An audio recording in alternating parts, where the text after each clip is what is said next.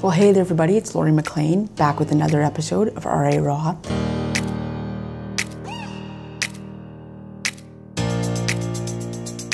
If you haven't already, be sure to subscribe to this channel. I release videos every Thursday regarding rheumatoid arthritis. I was diagnosed at the age of two, and I am now in my 40th year with the disease. My intent for this channel is to inspire and to educate others with rheumatoid arthritis. So, this week's episode is the first in a two part series about the myths that surround rheumatoid arthritis. So, myth number one rheumatoid arthritis and osteoarthritis are the same thing. That is not true. They are two completely separate uh, conditions. Rheumatoid arthritis is when your body's own immune system attacks its tissues. Osteoarthritis is the breakdown of the cartilage in a joint. Often, this will occur after years of wear and tear. It will occur after injury and is more prevalent in those of an older age group. So, myth number two very similar, and that is that rheumatoid arthritis is just a joint condition. No, it is not. It can affect other parts of your body as well, not just your joints. I was diagnosed at eight years old with a condition called iritis. Now, that is when rheumatoid arthritis moves into the eyes. It can affect your heart, it can affect your lungs. It has been shown to have an effect on the bowel. And many of us also experience brain fog, both from the medications and from the disease itself. So, no, it is not just a disease that affects your joints. The next myth is that give it time and RA will get better.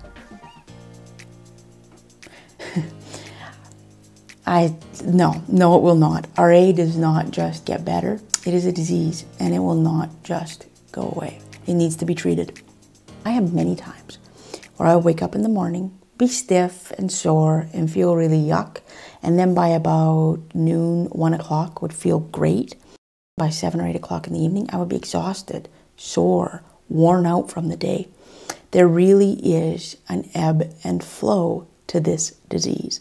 That makes it very difficult for many folks to understand. Next myth is you should avoid medication for as long as possible because of the side effects. We've all seen the commercials for rheumatoid arthritis medications, where somebody is out riding a bike, somebody's out jogging, somebody's out doing the most amazing things and living spectacularly.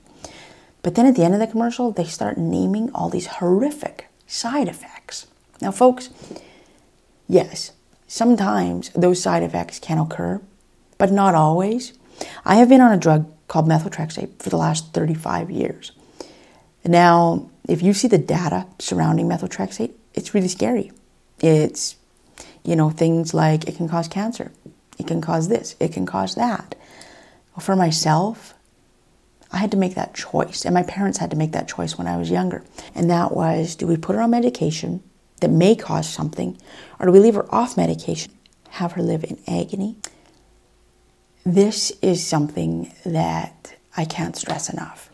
If left uncontrolled, Rheumatoid arthritis will cause long term permanent joint damage, long term permanent damage to your organs.